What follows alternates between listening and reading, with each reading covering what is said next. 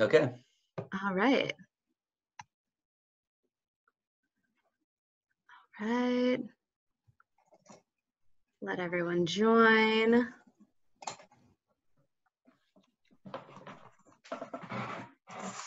All right, everyone. Good evening and welcome. Thanks for joining us tonight as for an awesome and very important webinar on backcountry safety and avalanche terrain. I'm Liz from over at the Mountain Shop, and joining me tonight is Christopher Van Tilburg, who is the medical director of Portland Mountain Rescue and a rescue mountaineer with Hood River Crag Rats. He's also the author of Backcountry Ski and Snowboard Routes Oregon. Thanks for joining us, Christopher. Thanks. Hi, everyone. So Christopher, Christopher will be giving us an inside look at his avalanche safety precautions, starting with the morning as he packs his pack, packs his gear into his pack to the end of the day ski touring on Mount Hood. This day in the life avalanche awareness talk will get you started on everything from avalanche safety classes, safety equipment such as an airbag pack, techniques at safe uphill travel, and low risk downhill turns. Questions are welcome and encouraged. Please use the Q&A function for questions We'll try and get through as many questions as we can during the presentation. The presentation tonight is brought to you by the Mountain Shop and Portland Mountain Rescue. It will be recorded and shared in the next day or so. And without further ado, I'll hand things over to Christopher. Okay. Thanks very much, Liz. Um, and welcome, everybody. Uh, I really appreciate the opportunity to talk tonight and uh, represent Portland Mountain Rescue. I feel really fortunate that I'm uh, a member of such a great uh, group of um, avid mountaineers and rescue mountaineers. So uh, what I'm going to do tonight is I think I'm going to talk for about 40 minutes or so, maybe a tiny bit longer than that, and I'm going to cover some basic avalanche awareness uh, topics. I'm kind of going to go through basically what I do before I go out ski touring or uh, climbing a mountain. And so let me see if I can get my screen shared here. There we go that coming through okay, Liz? Yeah, okay. So, um, so uh, I'm gonna kind of go a little bit fast, but if I see a question pop up, I'm happy to uh, stop. So um, let me see if I can, there we go. So um, avalanches occur in the mountains year round and and they sometimes surprise us and sneak up on us this is a picture i took uh, while i was on the chairlift at mount bachelor i was actually down there doing some research on a person who died in a tree well and i was riding up the chairlift with the ski patrol director and this avalanche happened about um, a minute or two before i took this picture inbounds those skiers you see are um, skiers inbounds uh, at Mount Bachelor. And so avalanches happen inbounds and out of bounds. Many of you might recognize this. This is uh, Heather Canyon at um, in Mount Hood Meadows in the permit area. And this is why Heather Canyon is closed um, when um, when we when we want to ski it. And this is on the left here, that's Pea Gravel Ridge, and on the right, that's um, the bottom of uh, Half Moon Bowl, Moon Bowl. But this avalanche, this picture is taken about from about 12 years ago. This is from the Wy'east face. So this avalanche is it's a known avalanche zone, and this slides every two or three years. And when it slides, it slides big. And this comes from the Wy'east face, which is between nine and 11,000 feet uh, on the east side of Mount Hood, and it slides all the way to the Heather Canyon chair. And this same avalanche uh, is in this picture. It's about 20 feet deep, the debris pile. And it's in this picture. This is Heather Canyon in August. And this is about the um, bottom of Heather Canyon chairlift. And so um, this snow is still 10 feet deep in August from that slide. So avalanches happen. We have about uh, 25 to 27 deaths per year. Unfortunately, we don't really know why we've had these low years a few times. That 2016 2017 year was uh, really very few fatalities, but that was the year we had um, snow in Hood River and Portland. We had Hood River snow in Hood River for three months, snow in Portland for about a month and a month and a half, and so that was a big snow year. And so we're not really sure why. We do know that uh, backcountry tours and snowmobilers are the most at risk. So when I when you look at this data, this is from the last 10 years. So this is backcountry tours really is skiers, snowboarders, snowshoers, and even some cross-country skiers. So snowmobilers, backcountry tours are the are the biggest groups of people that die. The climbers and side country riders are the next two. Now, so side country, this is a really important designation, which we try to teach people.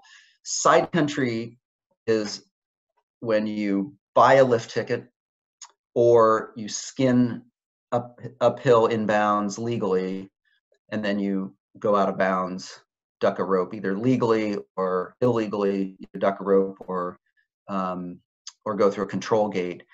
Uh, and the reason this is important is if you're going backcountry skiing, say on the south boundary of Mount Hood Meadows in the Vista Ridge um, Meadows, that's the backcountry. That's not the side country. So a lot of people think, oh, it's the side country. It's near a ski resort, but it's not. Um, and unfortunately, on this graph, you can see we've had uh, um, inbounds skiers and snowboarders that have been killed also, unfortunately.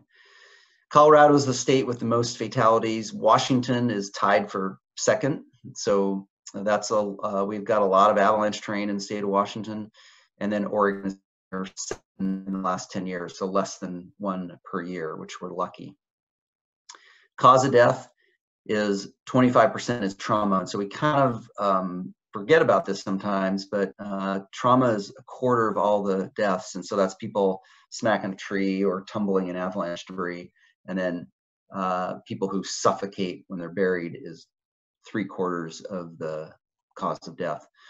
And so this graph, I, I wanted to show this because this, I wanted to show this mostly because um, when we are dealing with, like, for example, the pandemic, we are, a lot of us, including myself, are reading social media and there's so much misinformation um, and some of it, you know, unintentional on social media. So I want to put in a couple like uh, scientific pieces in this talk tonight. So this, what this represents is if you're buried under the snow and you're buried and your and your buddy's able to dig you out within 15 minutes, you have a 90% chance of survival. So that's this right up here. So 15 minutes, you have about a 90% chance of survival.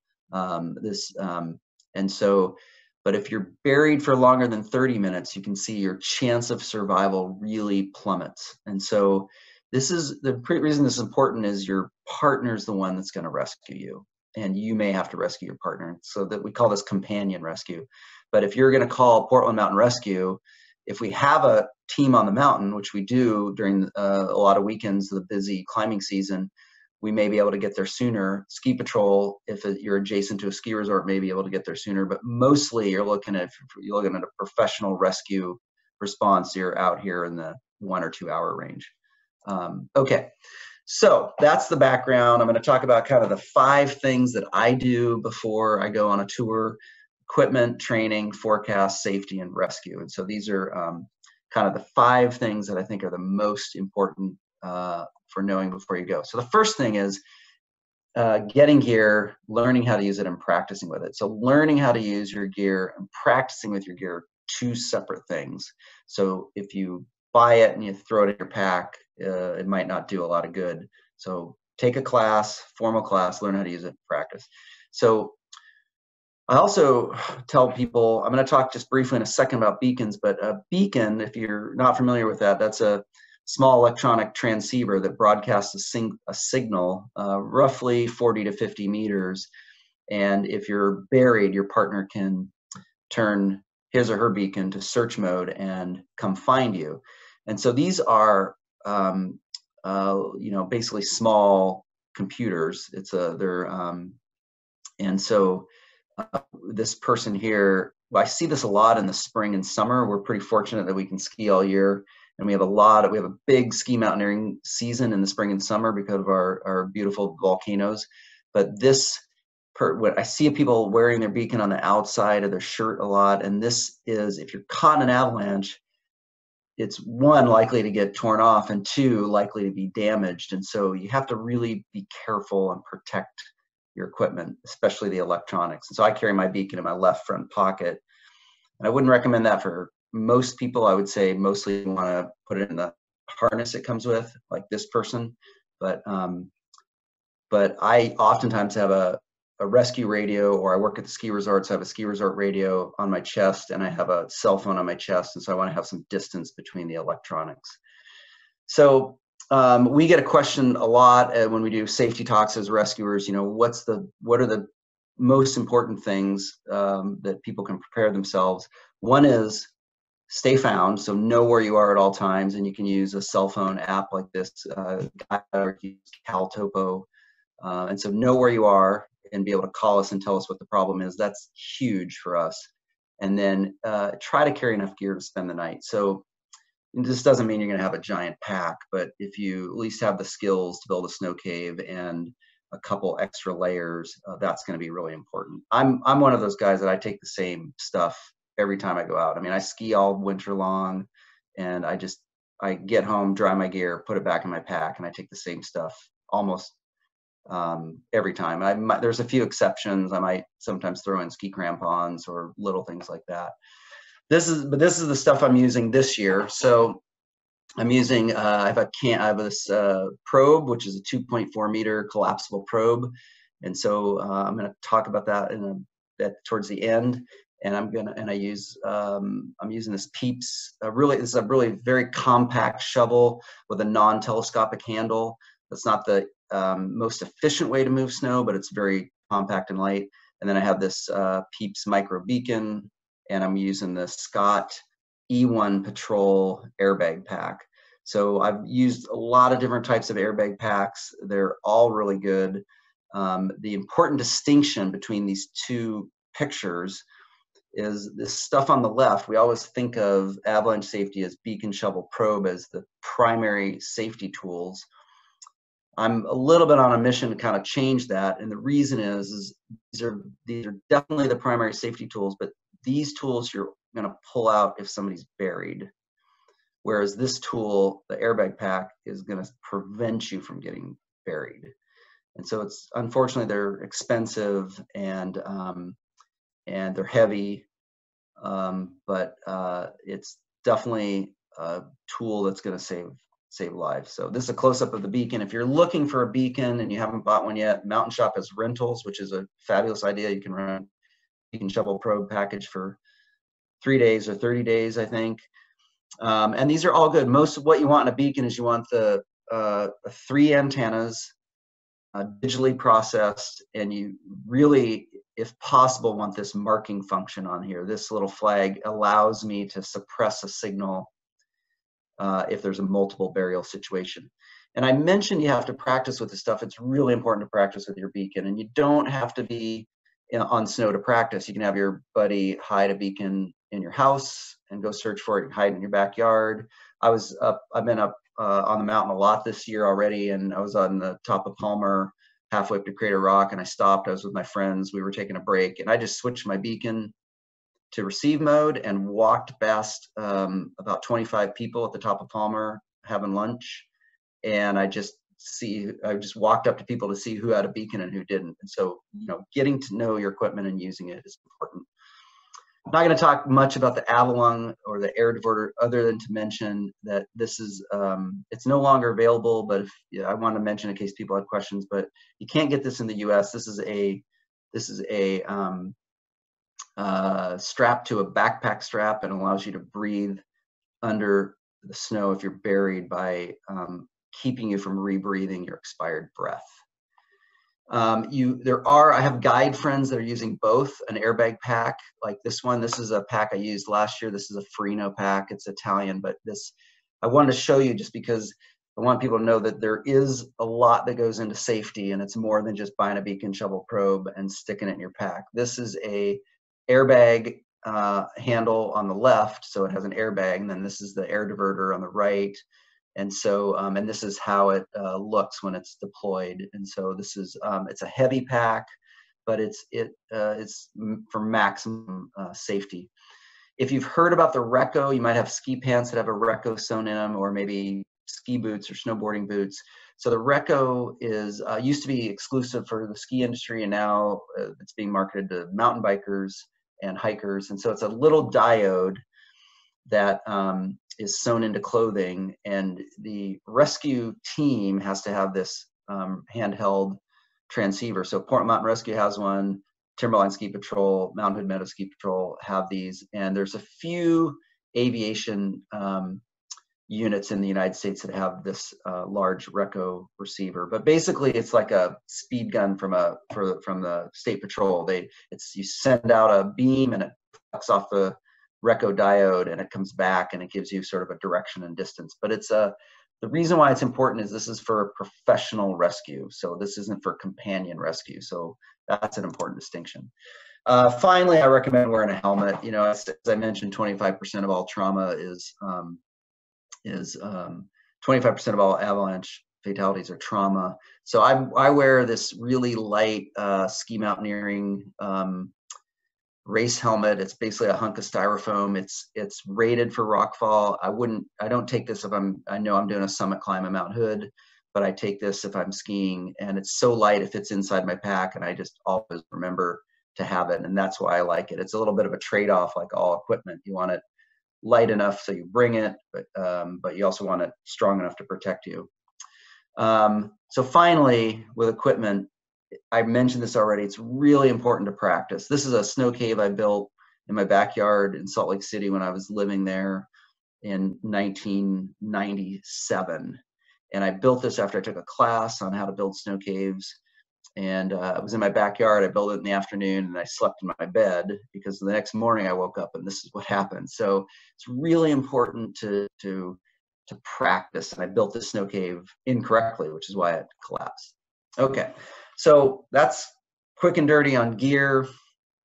Uh, let's talk about education. So the, the these are two of the um, United States um, bodies that kind of certify or promote education. And so generally what we recommend is a level, what we call level one avalanche class. So that would be a three, usually a three day class, one day classroom, two days uh, in the field. And it's a, a really great, uh, uh, great course. I've ta I taught a couple last year. Um, it's fun. It's in the snow. It's covers basically a three-day version of what I'm talking about in this talk. So if you're if you like to learn from books like I do, uh, there's a lot of books out there. I'm not preferential to any of them because all of us basically in North America and in Europe are teaching the same fundamental safety topics. And so this is a book that I this is my friend and colleague Bruce Tremper who um, uh, directed the Utah Avalanche Forecast Center for years. And uh, but there's lots of books out there. So there's a lot of local knowledge you can get. This is, a, I took this picture on the, this is, uh, if you're up at Whistler, Blackcomb, there's a canyon in between the two resorts. Uh, it's the canyon that the gondola goes over, and that canyon is out of bounds, and there's a ski tour. You can go right up that canyon. It's pretty gentle, and it's not super exciting. But this is the this is the board that's at the beginning of that ski tour. So there's lots of information here about avalanche pathways and how to be safe. And, and so local information is great. This is a picture that almost anybody can understand, right? So this is exiting the canyons uh, ski resort. So this is um, in Utah in the canyons and there's, uh, they allow you to buy a lift ticket and ski out of bounds. And so you have to go through this gate. So um, local knowledge is helping, is helpful. This is a really, really important sign for everybody on this call. And you might recognize this or you might not. This is a really important sign. So this is the sign that is about 100 meters from the Heather uh, Canyon parking, the parking lot at Hood River Meadows up the Heather Canyon uh, road, the Heather Canyon um, access cat track. So uh, this is important because of the howitzer program at Mount Hood Meadows. So this is they uh, Mountain Meadows allows you to ski up Heather Canyon about 100 meters. When you get to the sign, it's either going to say open or closed. If it's closed, then you have to exit Heather Canyon right then and there because that means they're um, shooting artillery uh, in Heather Canyon. And if it's open, you're only allowed to ski up to the next sign, which is um, about halfway to um, Jill's Woods. And so you have to exit Heather Canyon at this point. And so that's just important local knowledge um, to have when you're out and about. Okay, so I talked about uh, equipment, I talked about education, I'm going to talk about forecasts. I'm not going to spend a lot of time on this, but I'm going to tell you this is what I do. I do this unfortunately almost every morning uh, when I wake up. First thing I do when I wake up, I look at these web pages to find out what's going on, even if I'm working um, at uh, in my in my uh, even if I'm going to work for three days and I know I'm not going to be on the mountain, I still really like to follow the trends and the and the weather and the snowpack. So so I tend to um, check weather. I check the avalanche report. I check uh, if I know I'm going to climb one of the volcanoes. I'll try to get a hold of a climbing ranger if I can to get firsthand info. Mountain Hood Meadows is an avalanche mitigation website. You can check to see if they're actively um, uh, bombing Heather Canyon. And then uh, I actually use social media. I, you gotta be a little bit careful, but you know, especially if I'm climbing Mount Hood or if I'm going up the south side, you, you can look on a variety of group posts and find out conditions on the south side from people who maybe just were up there the day before. Um, I do use it cautiously because you know if I get a report that says, "Oh, Pearly Gates left has a four foot ice step," you can get up there no problem with with one tool and a whippet. You know, that might mean different things to different people. Like what somebody might scramble up with one tool and a whippet, I might feel comfortable having two tools. So, um, so it's just, just uh, use it cautiously. So these are the web pages I look at on this is National Weather Service um, because that's where almost everybody gets their information. Um, any uh, a lot of secondary weather sources use uh, National Weather Service. I look at the National Weather Service. I, I really study the telemetry data um, pretty closely. So you can get telemetry data from the national, the Northwest Avalanche Center. You can get it for, for example, um, Mount Hood Meadows has sensors on at the parking lot, at the top of Blue Chair, and at the top of Cascade. This is a picture of the sensors at the top of Blue Chair and the parking lot. Uh, Timberline has one at the top of the Magic Mile and at Timberline Lodge. I think Ski Bowl has a sensor. There's one on the north side at Red Hill. Uh, so there, so you can get um, you know hourly weather information. You can see if it froze the night before. You can see the wind. Uh, I find it really useful. Um, I look at the radar briefly to see what's happening in the next two to four hours. I look at the avalanche forecast from Northwest Avalanche Center.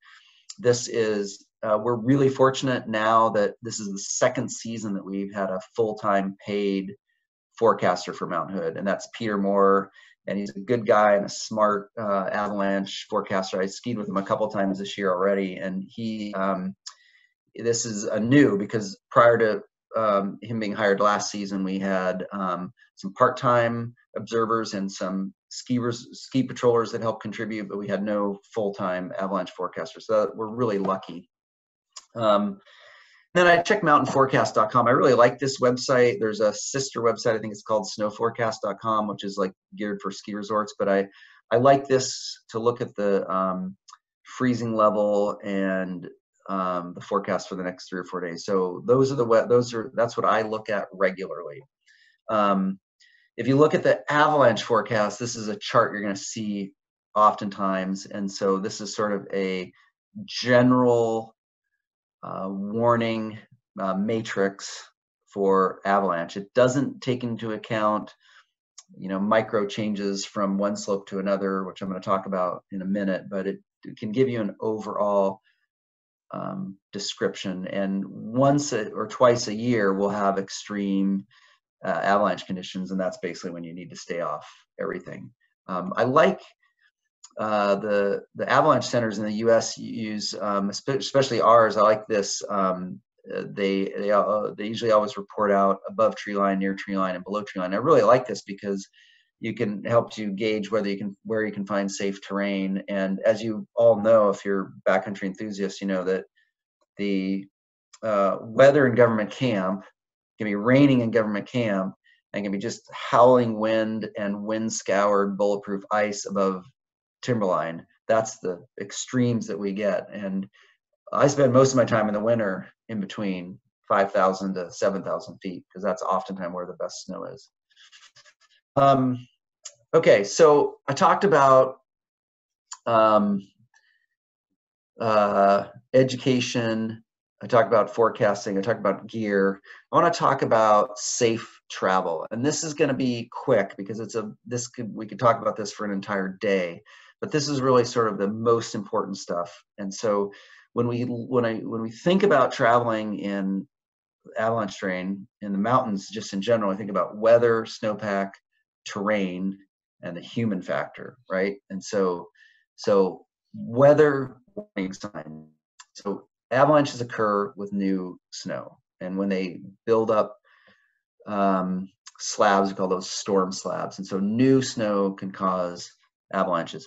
Strong winds can deposit snow and cause avalanches. Oftentimes, they can move more snow than storms can bring in. So, strong winds are a warning sign. In fact, when I was in um, Newton Canyon just Sunday, uh, we were skiing a four inch um, powder from a wind transport, and it was not, it hadn't snowed, uh, you know, for several days. So, uh, anytime we get rain or sun, followed by cooling and then new snow, that's a recipe for an avalanche. So the, the new snow sits on top of a really hard crust. So those are kind of the conditions that are developing right now. We've got a couple layers of crust on the mountain right now from this beautiful, you know, spring-like weather we've had. And so when we get another storm, it's going to be sitting on the crust from um, this week and two weeks ago.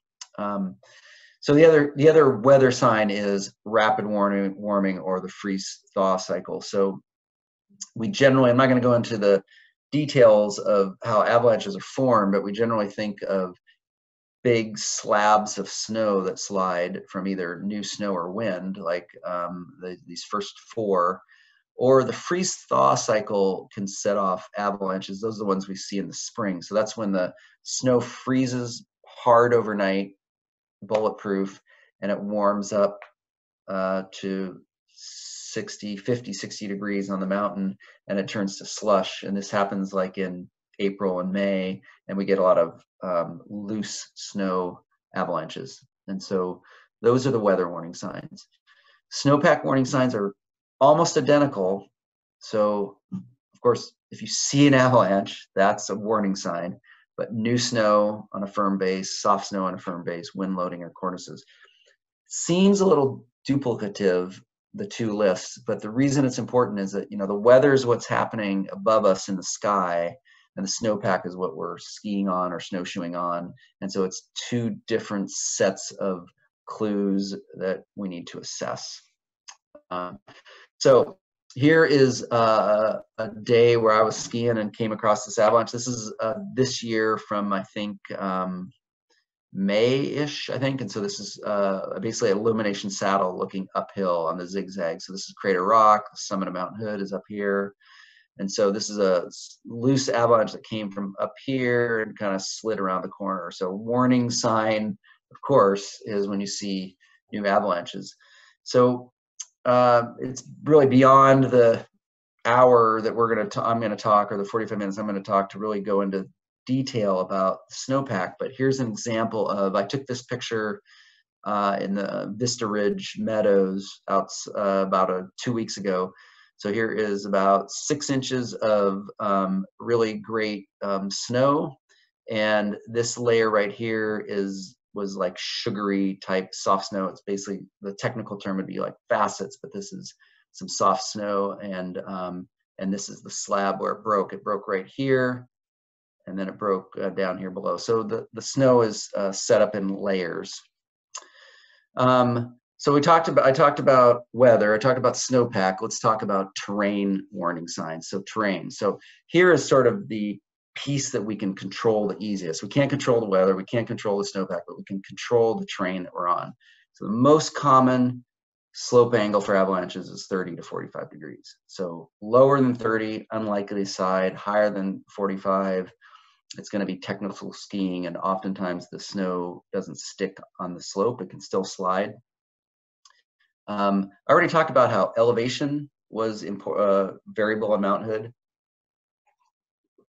but aspect is different too. So if you if you look at Mount Hood or even if you look at other areas you're skiing, the shaded north side side often stays cool and is somewhat protected from direct sun exposure, whereas the south side, like if, for example on Mount Hood, White River Canyon, that popular snowshoe cross country ski area, can just get baked in the um, even in midwinter. So aspect makes a difference.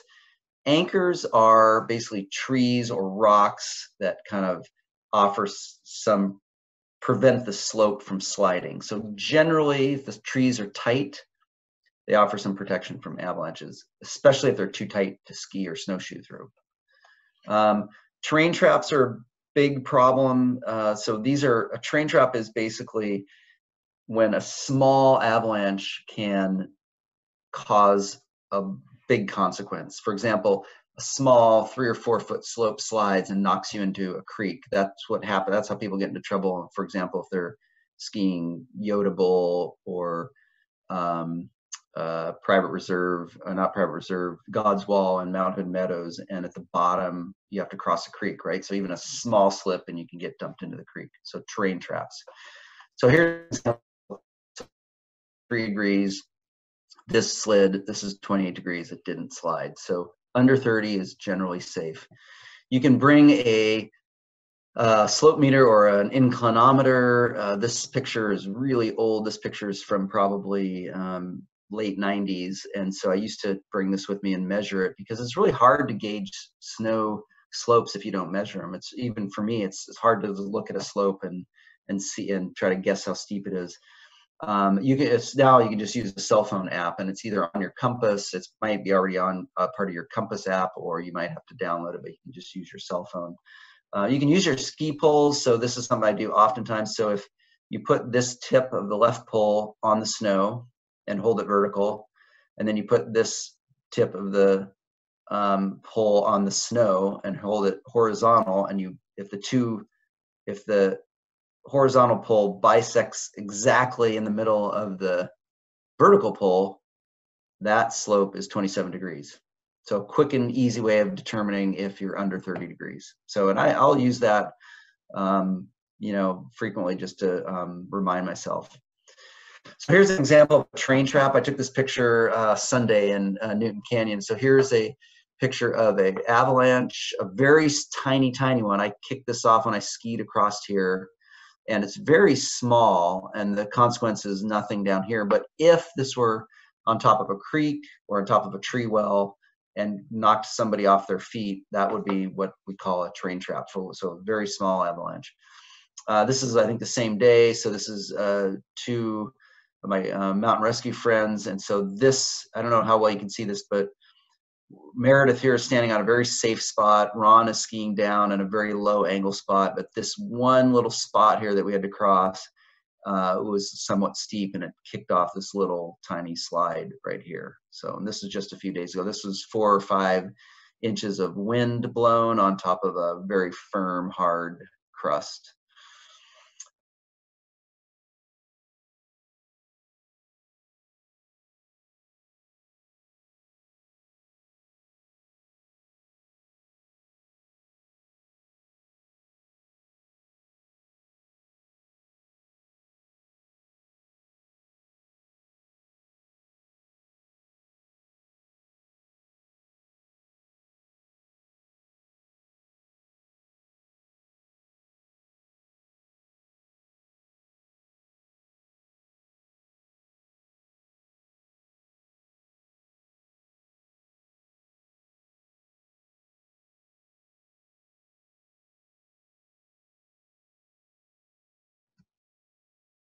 Looks like we might be having some technical difficulties with Chris. Let's see if we can get him to join back.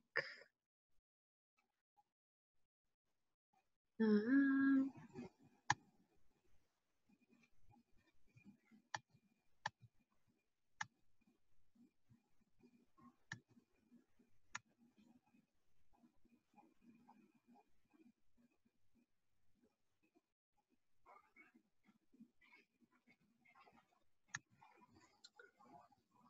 oh no, it looks like we might have lost Chris.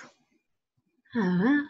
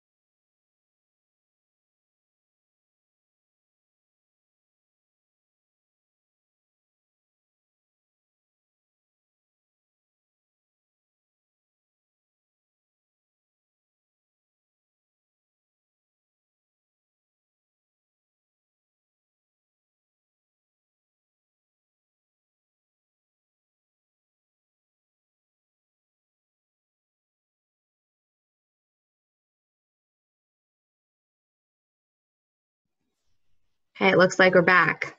I don't know what happened. I don't know either. Kicked you off. Do we still have our whole crew? Uh, we should be good. Yeah. Okay. Everyone's still here, waiting Okay. patiently. Okay, I don't. Yeah, I don't know what happened. Let me um, let me just pull open my um, my presentation, and it'll be just a second here. Sure.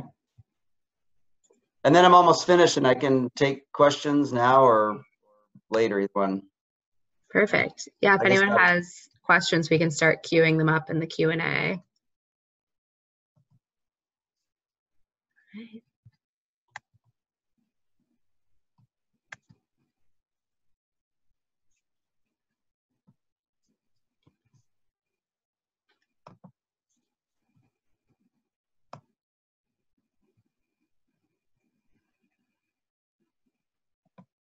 Okay.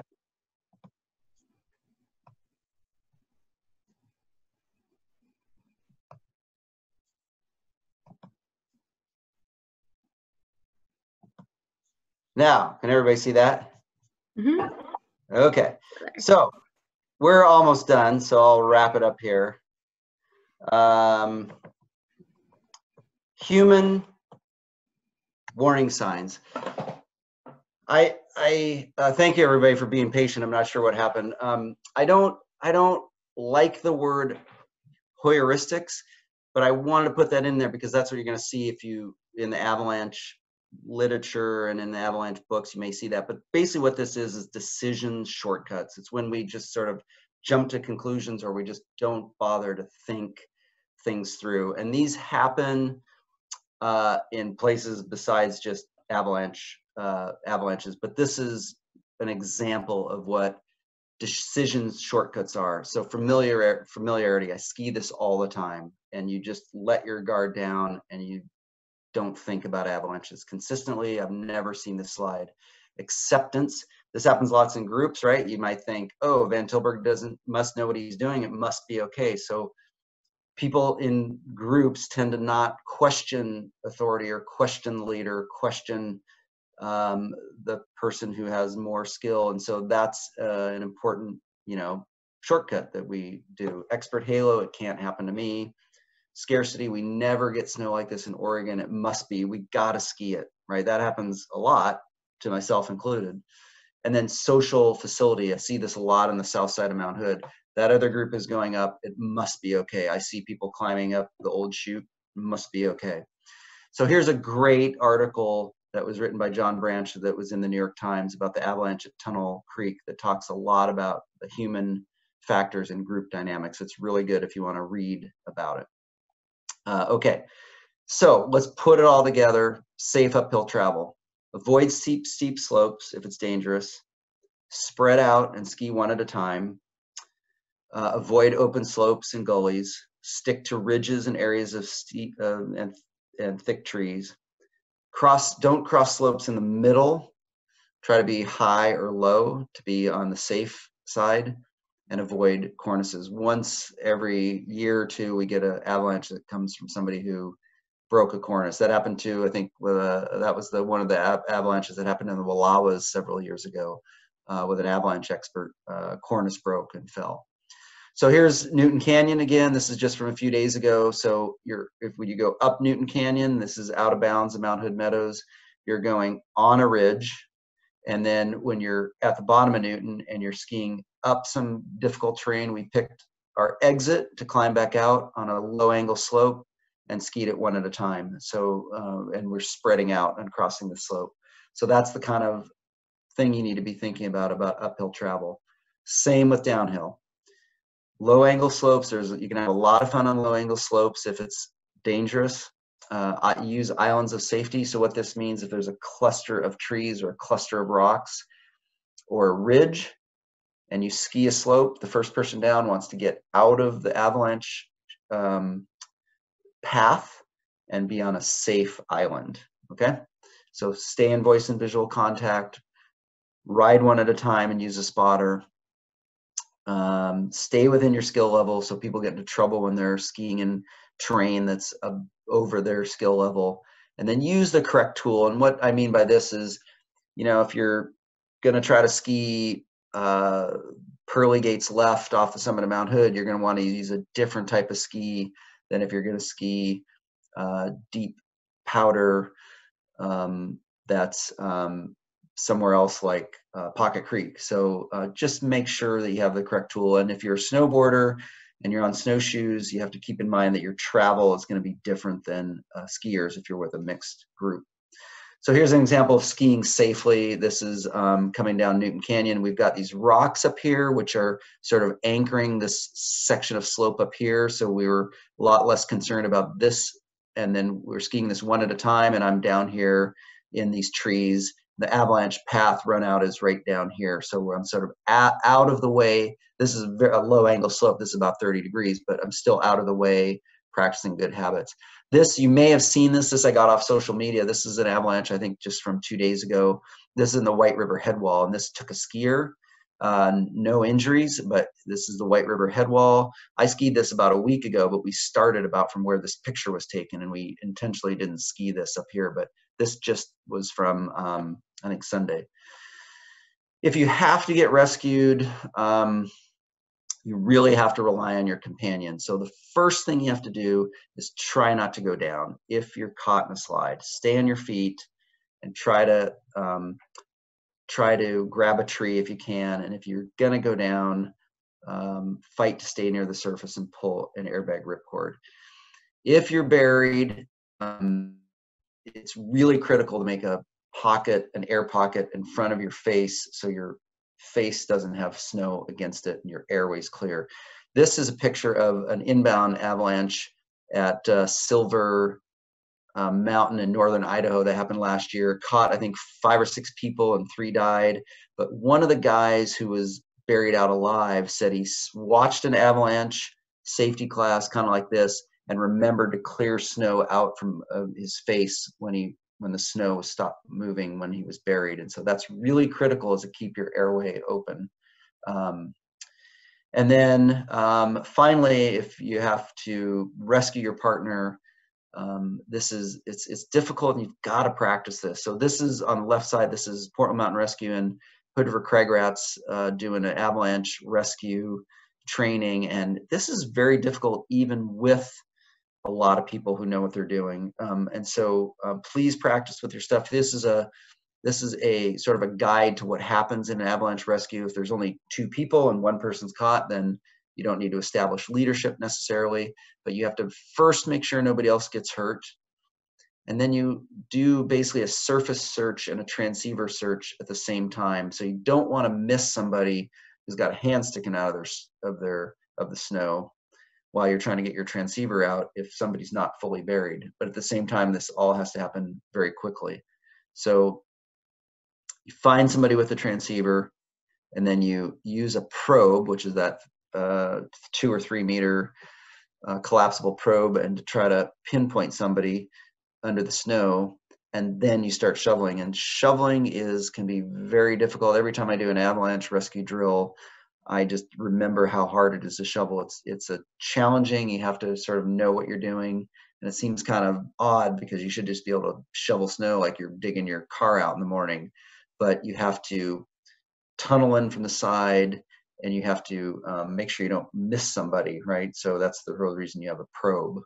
Um, this black piece on the side here, emergency services notification. This is the one time where you're maybe not going to call 911 instantly um, which most emergencies we tell people call 911, but this is the one time where you might not call 911 instantly because we don't want you getting out your phone, wait until you get cell service. If you're on the north side of Mount Hood, there's a chance you might get 911 dispatch in Skamania County. They've got to transfer you to Hood River County, so you get the idea. It's, we don't want you to delay rescuing your partner. Um, the last I just want to mention, it's not related. It's related to avalanches, but it's different than avalanches is tree wells. So um, there's more hazards than just avalanches out there. You can be safe, but be careful about falling into uh, tree wells. Okay, so that's it. Thanks. Sorry for the uh, brief intermission there, interruption, but I really appreciate the chance to talk. This is Portland Mountain Rescue's website, and I'm happy to um, chat um, answer any questions. Yeah, it looks like we had a couple come through in the chat. Uh, one question was, is it safer to stick to the ski track of the person in front? Uh, probably. I mean, if somebody's in front of you and um, making a safe ski track uphill in a safe area, it might, it's probably somewhat safer because it's already being compacted a little bit. So probably. And then someone else asked, can you go over how to check the slope angle with your poles again? Oh yeah. So you take uh, one pole and you put it vertical with the tip on the on the snow, and then the other pole horizontal and put the tip on the snow and then put the handle next to the um, snow or next to the other pole. Does that make sense? I think so. Do you have your pole marked so that like depending on like where it hits for that I don't, but if, but if you mark your pole exactly in the middle, uh, Okay. then you you will know if the slope is 30 degrees or less. So you just Okay. mark one pole in the middle, exactly in the middle, and put those two poles together at perpendicular, and that'll be 27 degrees or less. Okay. Um, how much better is a three antenna beacon versus an older two antenna model? Worth upgrading my old beacon if it's still functioning well? Uh, absolutely, it's worth upgrading. Yeah, the three antenna beacons. Um, you know, the the new beacons they don't they they are digitally processed and they work along magnetic flux lines, and so they give you direction and distance. And so, like you turn on your beacon, it'll say, you know, go nine meters that direction. And so, with the third antenna, it's going to be more accurate. And, and Um, really what you want in the new beacons is the marking function if there's a multiple burial. So What are your preferred snowpack tests? When you when do you use them and how do you evaluate the results? It's a layered Well, question. Yeah, that's a tough question. I, I do, um, you know, I do some kind of snowpack test almost every tour. I use my ski pole a lot upside down and I'll do a, a quick pit with the handle of my ski pole and I'll just um, dig into the snow. I'll find out where the crust is. And usually once a tour, I'll dig a pit, but it's a very fast pit. Um, either I'll dig it or my buddies will dig it and we'll use a shovel, but uh, I'll dig a pit and mostly what I look for, I mostly do the shovel shear test. And I don't have time to explain that, but that's usually what I do. And I usually mostly interested less, I'm less interested in the stability test, but I'm most interested in what the layers look like throughout the season. Uh, do cell phones interfere with beacons? Oh yeah, good question. Absolutely. So there's been some research on this. We the best guesstimate that we have using some data is that your cell phone and beacon should be 20 centimeters apart. Ideally, your cell phone turned off, but um, so that's why I keep my beacon in my left front pocket and my cell phone and my radio on my chest harness. Or I, if I don't have a radio, I'll keep my cell phone in a chest pocket in my jacket. And so um, 20 centimeters is what we recommend. And yeah, there's absolutely uh, beacons can be interfered with. Uh, diabetic insulin pump can interfere with it. Uh, radio can interfere with it. Oh, yeah. Oh, wow. Um, and question in the Q and A is if the Heather Canyon sign says closed, is Newton Canyon slash Pea Gravel Ridge still accessible? Yeah. So you can uh, Heather uh, Pea Gravel, Newton Canyon, and Pea Gravel Ridge are out of bounds. So Okay. the Forest, Forest Service lets you go into those. So you can ski up Pea Gravel Ridge if um, Heather Canyon's closed. Okay. Um, I think you kind of answered this before, but I've read various opinions about replacing beacons at certain yearly intervals. Some people say beacons should get replaced every five years, while others say since the technology went digital, it doesn't need replaced. Thoughts? I would say, you know, a beacon is, uh, like I said, it's a little computer. So um, there, there's a lot of things that can go wrong with them. I would say five years, it should be replaced because technology's better. There are, most of the companies will allow you to upgrade the firmware and the beacon, and but it's a lot of com- companies you have to send the beacon back in to get that done. But um, I mean, the tolerances on the frequency can drift. Um, the electronics can start failing. I, I, yeah, I would say I wouldn't trust my life on a five-year-old beacon. Okay. Um, we had someone ask, do you recommend wearing a beacon in traditional mountaineering or just in ski mountaineering and touring? Uh, well, I would recommend wearing a beacon anytime you're worried about avalanches. I mean, we do get avalanches in climbers. I think the stats I showed you, they were um, uh, climbers were uh, the third most common group to get caught in avalanches, or the fourth. So I would say if you're in avalanche terrain, you should have a beacon. When, if ever, do you perform a ski cut prior to skiing a slope? Um, I I almost never perform well, uh, infrequently, because generally I feel like if I'm performing a ski cut in order to determine if the slope is safe enough to ski, I shouldn't be there. And the same with digging a big ski pit or doing the large ski pit test called a Rutschblock. I just feel like if I'm doing that, I probably shouldn't be there. But once in a while, if I'm with a couple people and we just need to get down a short slope, I'll I'll do a ski cut. But there's an uh, you may know there's an uh, avalanche accident inbounds at Mount Hood Meadows on a ski patroller, very experienced ski patroller last year, and got caught in an avalanche at God's Wall from a ski cut. Um, how often does Portland Mountain Rescue take on new volunteers? Our recruiting, I think, is every other year, and so every other year we have a academy of um, rookies. Okay. Um, can you put together and share a list of your favorite websites to check for weather and snowpack conditions? It'd be helpful to look at. And so that Yeah. we can all bookmark them. Yeah. If you Yeah. send that to me, I can send that out to anyone that Okay. was on the webinar.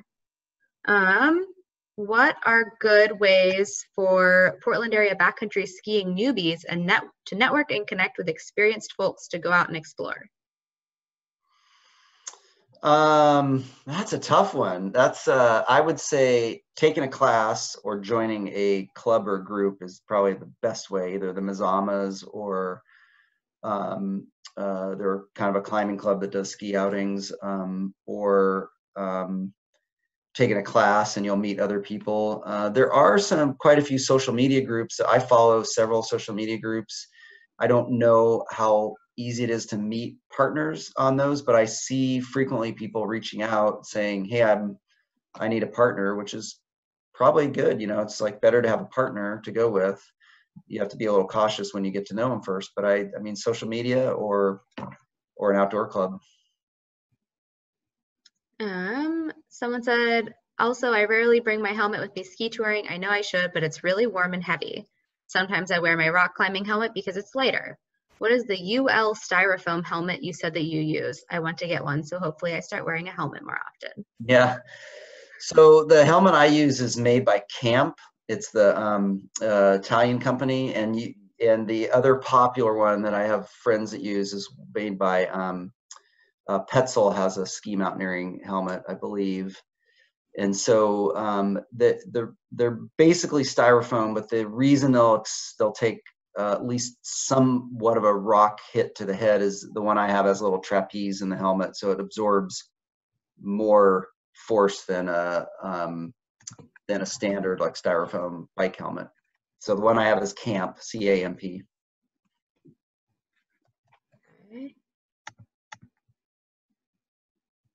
And then it's my understanding that the US doesn't recognize like ski mountaineering certified helmets, but some brands will advertise as ski mountaineering helmets or like say that they're rated for that. Yeah, that's Uh, I, yeah, that's probably true. I don't know exactly how that works. I know that um, the ones in the U.S. to be rated for climbing have to take a rock on the top of the helmet. That's kind of Mm. one of the tests that um, has to pass. Right, sure. Um, any suggestions for good guide services to get experience with in backcountry terrain in northern Oregon and southern Washington? Well, I don't. The the main one I know of is um, Timberline Mountain Guides, and they have a sister company that is a thing called Oregon Backcountry Ski Guides, and I've done um, three tours uh, with the owner, um, Pete Keen, and they're a great company. Um, but I don't want to just promote one company. There's sure there's others, but that's the one I know of because I know that it's Timberline Mountain Guides, but their sister companies, Oregon Ski Guides, and they do ski tours. Uh, and they do classes, and they do them in um, a little bit on Mount Hood and a lot in Bend. Yeah, they do AIARE courses as well. So I right. AIARE one with. Mm-hmm. Mm-hmm. Um, I think Calf Adventures might also do some ski touring. Okay. Um, and I'm sure there's other ones. Yeah. Yeah. Um, you touched on this earlier, but can you speak more about where it's safe to carry your beacon? Would you carry it in a zippered pant pocket? Yeah, so um, the official recommendation is carry it in the harness that it comes with because then it's next to your body and it's protected. And then you don't, you know, if you're taking, you know, if it's in a jacket pocket, you take off the jacket, that's a problem.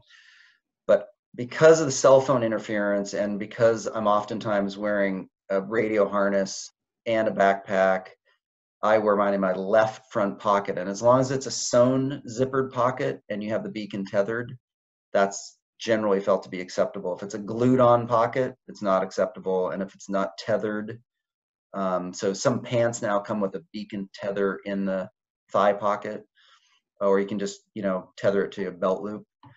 Um, if, if you're gonna, if the op only option is to wear it in the harness on the outside of your base layer, I would say put it in your backpack and cinch your backpack on. But that's that's probably not the best place to put it in your backpack, but certainly it's not good outside your base layer. So anyway, so I keep mine in my left front pocket.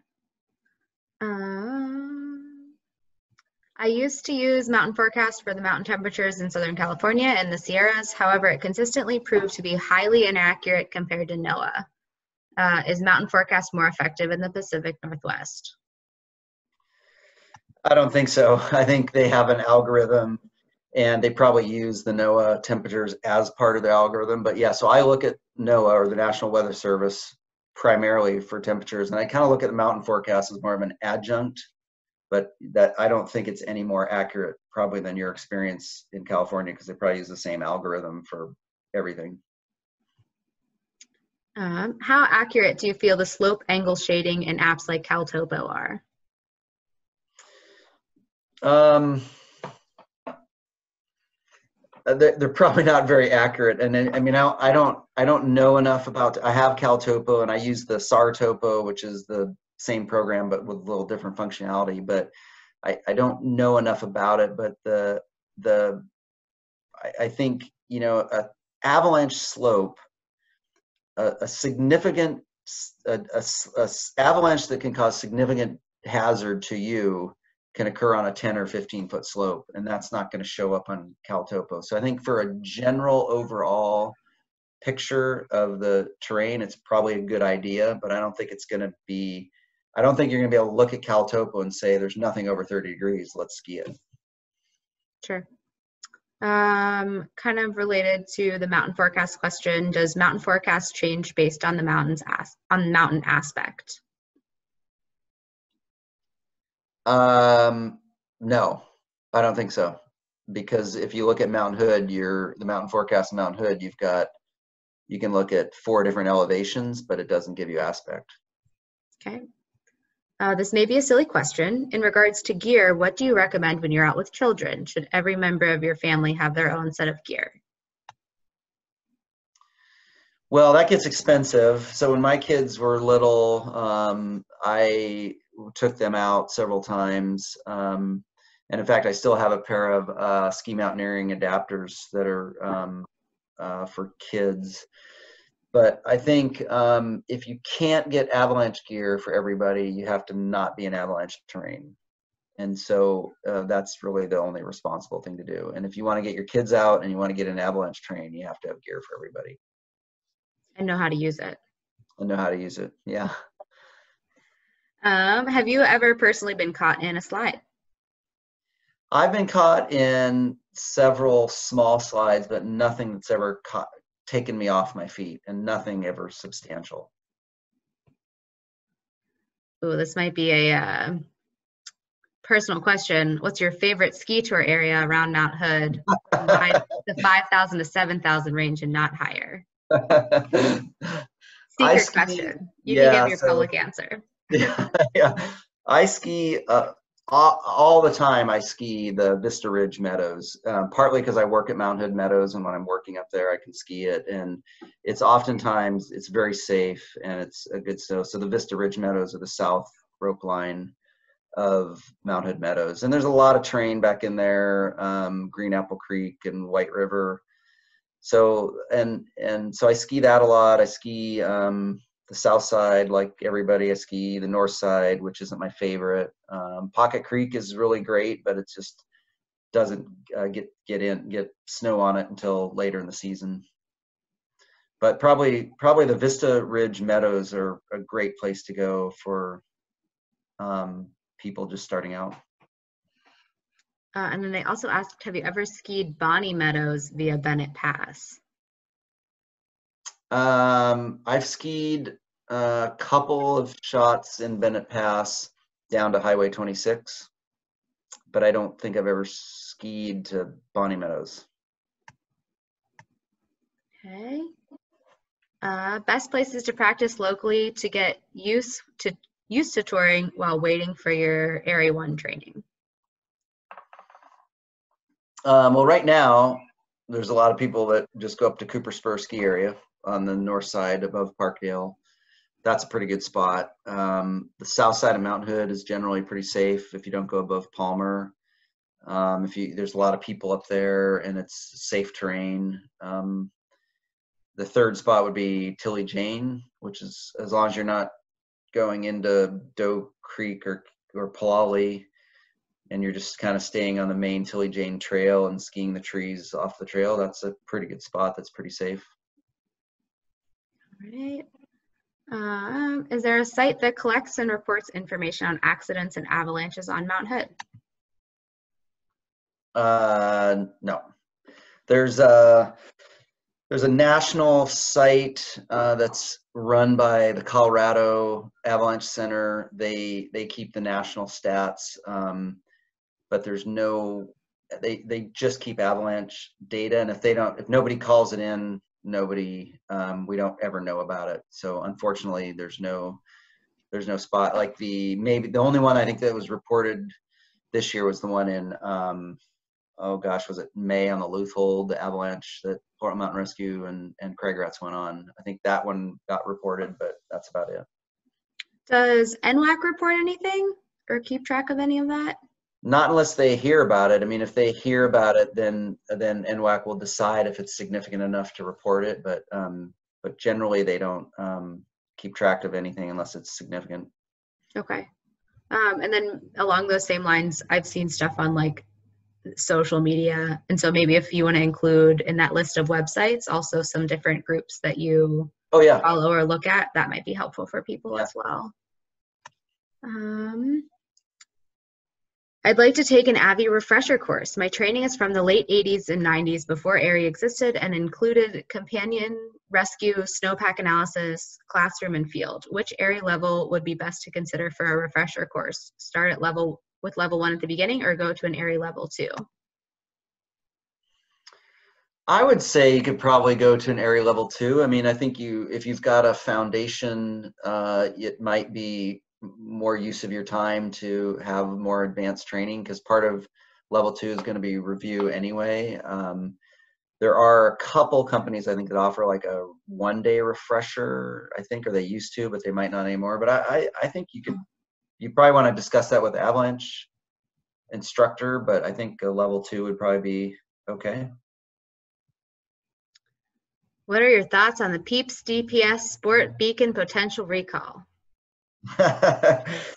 um, I sent my personal one back, and I sent the two um, mountain rescue ones back. So um, I would say it's, you know, it's.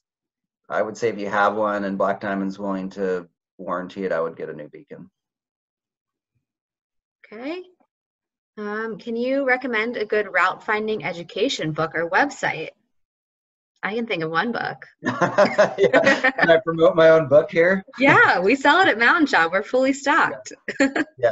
So you can get my book. I wrote a backcountry ski guide book to Oregon, and that's at the Mountain Shop. Uh, there's a there's a, a guy who has a website that's I really like it. It hasn't been updated in years, but I think it's called uh, skimountaineer.com. That's a list of ski routes on the volcanoes uh, for spring tours and and spring and summer volcano climbing. Um, but those are there's one other one, and let's see, there's a guy that used to live in Oregon that now lives in Utah that has a website that has some ski tours on Mount Hood, and I'll, I do not remember the name of the website right now. If you think Mount of it, you can add it to the list. Yeah. Okay. Um, oh, there it is. I saw oh, mountainlessons.com. Somebody popped it up. That's it. Yeah. Mountainlessons.com. Okay. Uh, what is your preferred method for ripping skins off skis and storing them? Any tips for effective transitions, efficient transitions? Yeah, so that's a great question. I I um I I'm I'm really fast because I I ski all the time and um so one thing I'm religious about is I only take I, I if I'm taking my skis off, I peel my skins off without taking my ski off. So I'll either cross my legs or I'll push my ski tip back up to my back and peel it off. I usually cross my legs because if I if I cross one leg over my knee, I can lock my Dynafit binding, I can lock my Scarpa boot, and I can rip my skin all in one and then I stomp down I'm ready to ski. And then I take the other skin off. And I always stick my skins together. One, I take one skin in half and stick it and put it in my jacket pot in my jacket. And I stick the other skin and put it in my jacket. Uh, the only time I put them in my backpack is if I'm for sure going to be done uphill skiing for the day. But I keep them in my in my in my jacket so they stay warm and they dry out a bit, and also just so I'm ready to go again. So sometimes I get to the bottom of the slope, I want to even take my pack off. I just put my skins on. And I don't ever take, I only take one ski off at a time. And mostly that's for two reasons. Mostly that's for glacier skiing because it's safer if you're skiing the glaciers in the spring and summer. You know, you don't, you want to always have one ski on at a time for crevasse safety. And in deep snow, it's, you know, you take both skis off and you sink down to your crotch. It's just, you can't walk. So I just out of habit just to always have one ski on at all times. You can't put your skins on with your skis on. You're not. No, I'm not, I'm not that good. no. I would love to see if someone could do that. Yeah. Um, does PMR require medical training before accepting volunteers? What do you look for in choosing volunteers? So um, uh, PMR does not. You, you don't have to. You don't have to have. It's not a prerequisite to have medical. The minimum medical required is um, a first aid and CPR card, but most people at a minimum at PMR are, are wilderness first responders. So we like to have, and that's like a, I want to say it's about a 80 hour class, takes about a week, and uh, that's ideal. Um, but probably the most important thing is mountain skills and a love of the mountain and a willing to participate. You know, I mean, when I say participate, I mean getting out of bed at two in the morning and driving an hour into a storm and hiking all night. And so that's really a key factor. Um, and then the final question, what is a ski cut? Oh, a ski cut is if you if you have a slope that looks like it might be dangerous uh, or avalanche prone, and you don't want to ski the entire slope, you can make one crossing of the slope with your skis, maybe 10, 15, 20 feet from maybe a cornice to a tree or so you kind of test it out. You ski across it and then stop and see what happens. And if you kick off, you know, an avalanche, then you know it's unsafe. Maybe don't ski it. right. All right. Well, if there, oh, does PMR accept split boarders or just skiers? Yeah, I think yeah, PMR will take split boarders. Yeah, and uh, a lot of our rescues are skis, but many of them are not. Many of them are through the you know on boots, boots on the ground. So. Yeah, sure.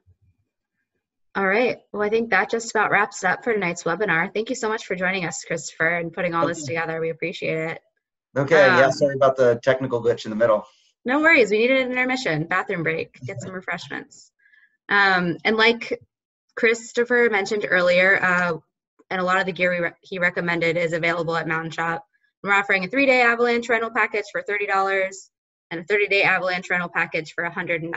So if you're not ready to invest in all the gear or want to try it out and figure out if you like the Tracker 3 beacons, that's what we have in stock. Um, and then I will send an email to the winner of the three-day avalanche rental package with instructions on how to redeem it. Um, and yeah, we hope you enjoyed tonight's presentation and learned a lot so you can stay safe when you're recreating outside in avalanche terrain. Cool. Okay, thank you very much. No problem. Have a good evening. And yeah, thanks again for joining us. All right. Good night, everyone. Thanks.